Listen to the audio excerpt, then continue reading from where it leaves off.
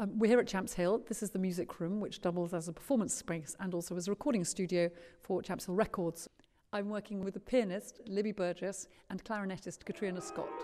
The starting point for programming the whole CD was Stephen McNeff's Vivienne, which he wrote from a couple of years ago, which is about the first wife of T.S. Eliot.